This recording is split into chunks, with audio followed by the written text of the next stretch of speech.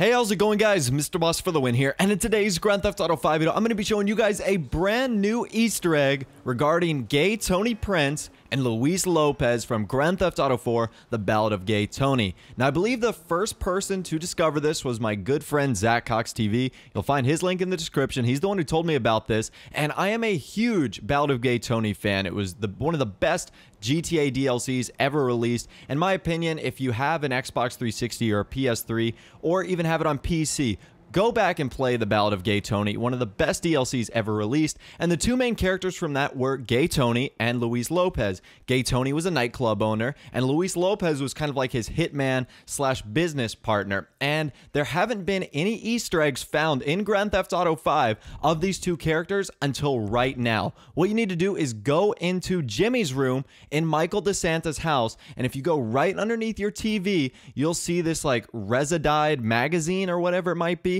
and on the cover, it has a photo of Luis Lopez and also mentions Tony Prince and his nightclubs. This is pretty cool.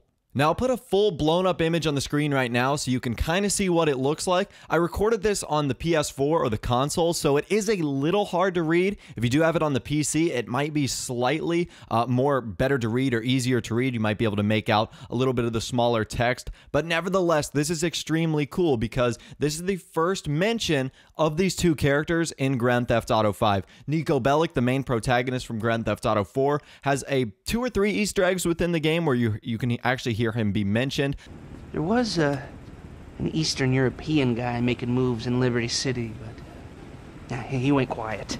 Uh, Johnny Klebitz actually appears in the game. You guys know when Trevor stomps on his head and actually like skull crushes him.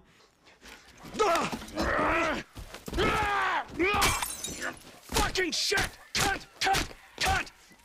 Cut! Who the fuck are you speaking to? Who? Who? I'm talking to you, huh?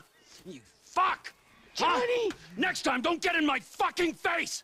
But this is actually the first time that Tony Prince and Luis Lopez have been mentioned in the game. There are no verbal or audio cues. They don't actually appear in the game. This is the first mention of them on this magazine in Jimmy DeSanta's room. Now, honestly, it would be incredible to have these two characters return. If you guys don't remember, at the very end of the Ballad of Gay Tony, Tony actually says that he wants to move out west, maybe somewhere San Francisco or even Los Santos. That might fall into the category of moving out west. So in a future DLC, could there possibly be a gay Tony Prince and Luis Lopez in Grand Theft Auto 5? I know Luis Lopez is by far a fan favorite, and I love Tony Prince just because of his hilarity and how silly he is, but I do think this would be really cool to eventually see these two characters return back into the game. I don't think Niko Bellic is going to come back. I've explained that in a video that I've done in the past. There's actually like some issues that go on with the guy who actually plays Niko Bellic in Rockstar Games. Obviously, Johnny Klebitz came back. He was a big part of the game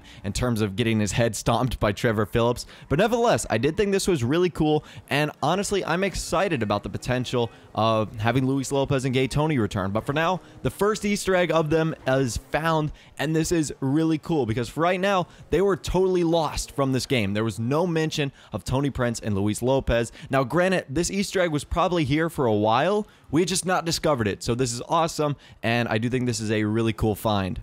Anyways, let me know what you guys think about this in the comment section down below. Would you like to see gay Tony Prince and Luis Lopez possibly return in a future GTA or possible DLC? Let me know what you think in the comments down below. If you did enjoy this video, a like rating would be awesome, so go ahead and hit that thumbs up button. That would be amazing. And of course, subscribe to my YouTube channel if you are new. You like daily Grand Theft Auto 5 videos like this. Without the way, guys, like I said, thanks for watching. Take care, and I'll see you guys in the next video.